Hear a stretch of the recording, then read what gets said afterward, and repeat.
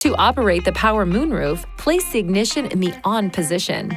To fully open or close the moonroof, push the open or close side of this switch and release it. You do not need to hold it. To partially open or close the moonroof, push the switch in any direction. When the moonroof has reached the desired position, push the switch once more to stop it. To tilt the moonroof up, first close the moonroof, then push the switch to the up-close position and release it. To tilt it down, push the switch to the down-open position. Manually open and close the sunshade by sliding it forward or backwards. The sunshade will open automatically when the moonroof is opened. If you've turned the ignition off and notice the moonroof is open, you still have a period of time in which to close it.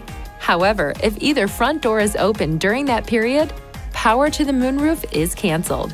If the moonroof does not operate properly, it is recommended you visit a Nissan dealer for service. Please see your owner's manual for important safety information, system limitations, and additional operating and feature information.